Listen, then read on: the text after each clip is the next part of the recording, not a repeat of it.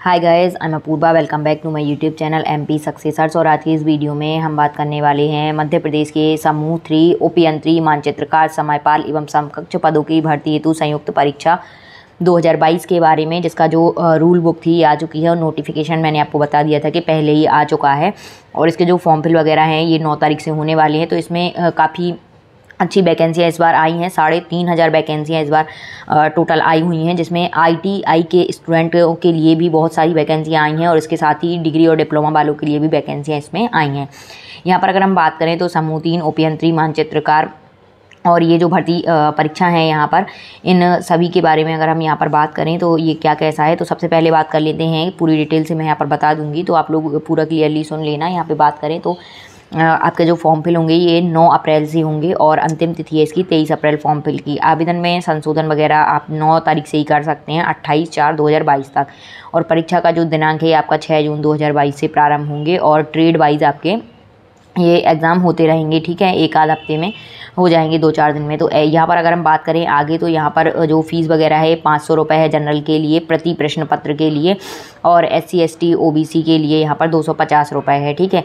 और बैकलॉग भर्ती में कोई शुल्क यहाँ पर नहीं लगता है। अगर, अब हम यहाँ पर आगे बात करें, अगर तो यहाँ पर यहाँ पर बताया गया कि पोर्टल चार्ज आपको साठ रुपये लगेगा और अगर आप एम पी ऑनलाइन के माध्यम से भरते हैं तो साठ रुपये चार्ज और रजिस्टर्ड सिटीजन यूज़र के माध्यम से, यानी अपने घर से लॉगिन करके फॉर्म भरते हैं तो आपको बीस रुपये चार्ज एक्स्ट्रा इसमें लगेगा। बात करें एग्ज़ाम की तो एग्ज़ाम आपका तीन घंटे का पेपर रहेगा और एक दिन में दो शिफ्ट में पेपर होंगे तो कोई भी शिफ्ट आपको मिल सकती है। ठीक है, एक शिफ्ट है नौ से बारह की और दूसरी शिफ्ट है साढ़े दो, यानी ढाई बजे से आपकी साढ़े पाँच बजे तक की है। तीन तीन घंटे का पेपर रहेगा।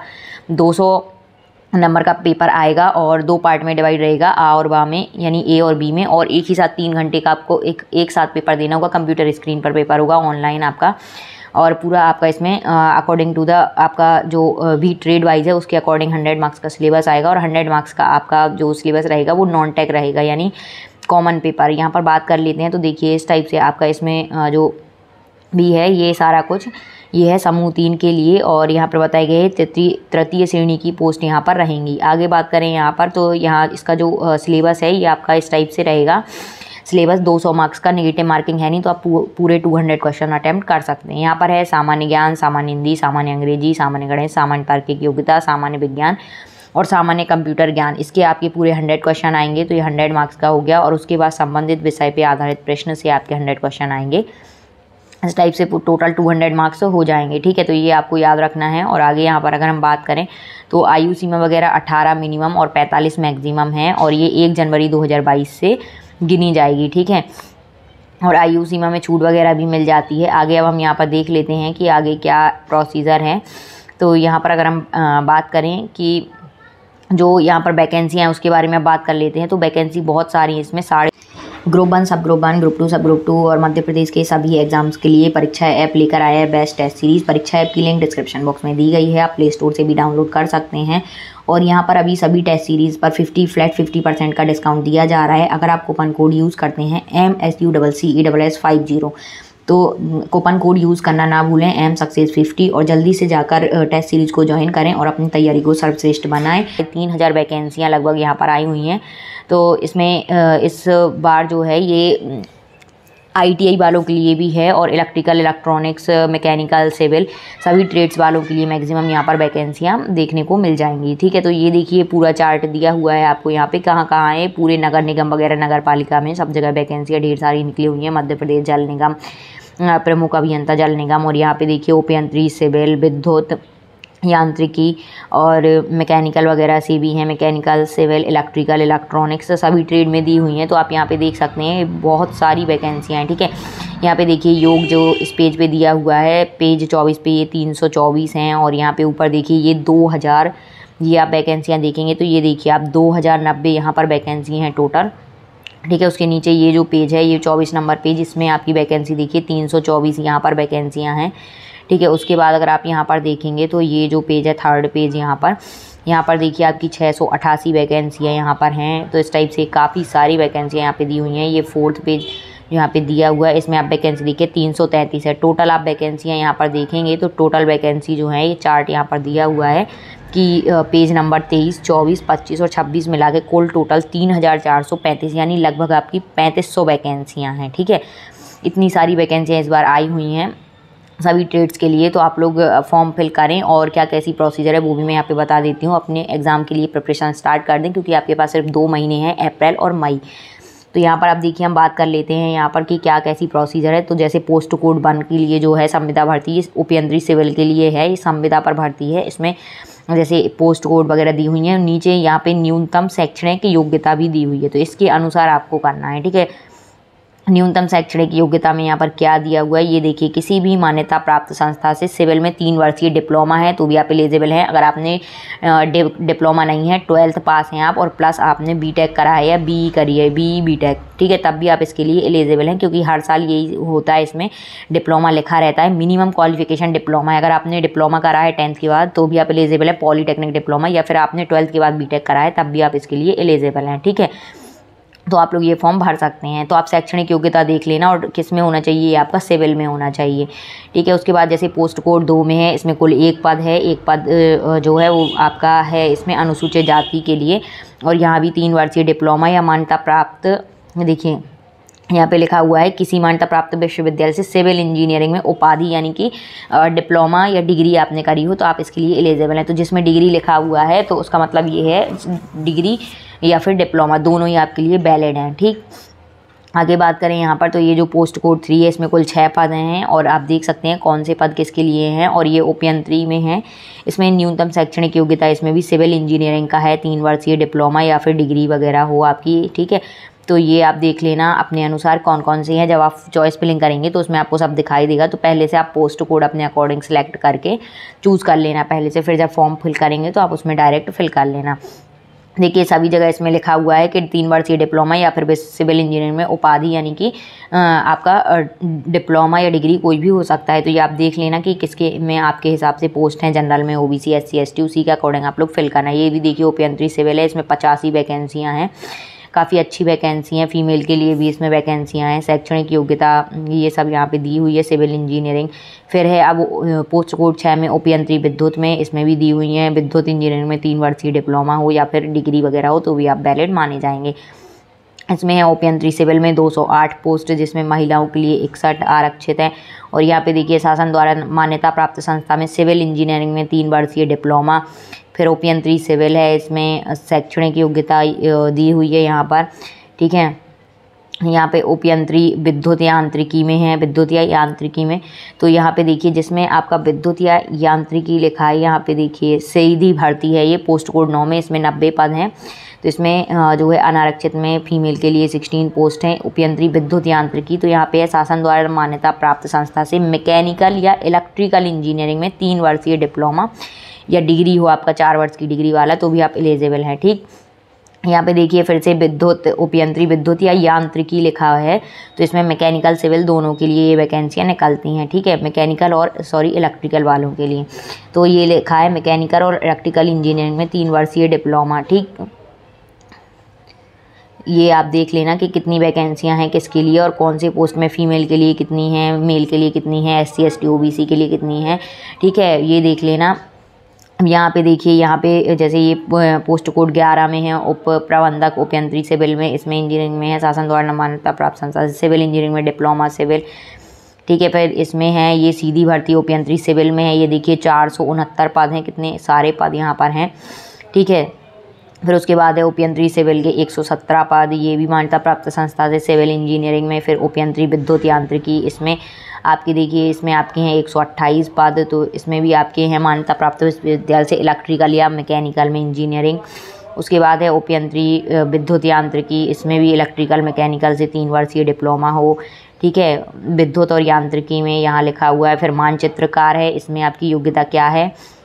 उच्चतर माध्यमिक परीक्षा उत्तीर्ण, यानी बारहवीं पास करी हो हायर सेकेंडरी और J J school of art, arts Mumbai में प्रारंभिक एलिमेंट्री ड्राइंग या इंटरमीडिएट प्रमाण पत्र हो, ये सब यहाँ पे दिया हुआ है। या सर्वे ऑफ़ हैदराबाद से फोटोग्राफी या मान्यता प्राप्त संस्था में, वास्तुकला में पत्रोपाधि मान्यता प्राप्त में आर्ट, एक्ट या मानचित्रकार में डिप्लोमा वगैरह है, तभी इसके लिए आप लोग फिल कर सकते हैं, ठीक है?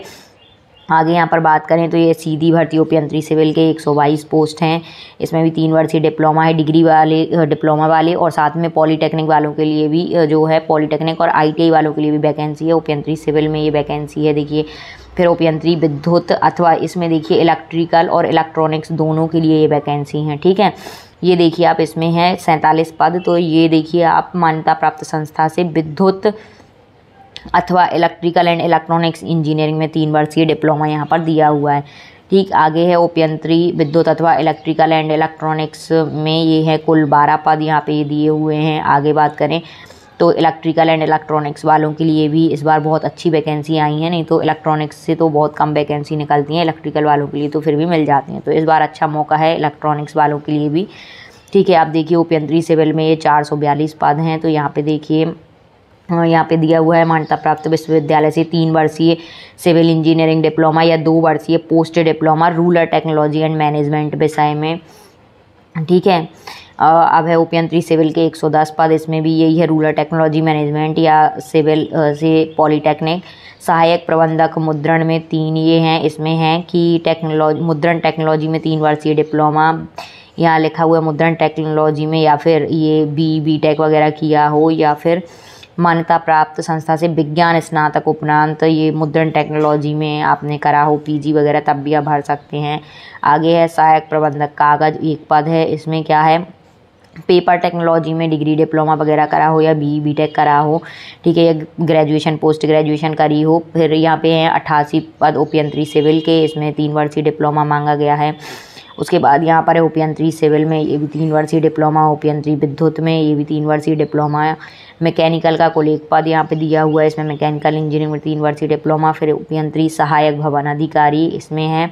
सिविल इंजीनियरिंग में तीन वर्षीय डिप्लोमा, फिर है समयपाल। अब ये देखिए आ गई हैं आईटीआई वालों के लिए वैकेंसी यहाँ पे देखिए, जो जिसमें लिखा है ये समयपाल, इसमें कुल चौवन पद हैं तो देखिए, काफ़ी अच्छी वैकेंसी है। बारहवीं उत्तीर्ण तथा सिविल इंजीनियरिंग ट्रेड ट्रेड में आई अगर आपने आईटीआई करी है सिविल इंजीनियरिंग ट्रेड से और बारहवीं उत्तीर्ण है तो आप समय पाल के पद के लिए जो है आवेदन कर सकते हैं, ठीक है?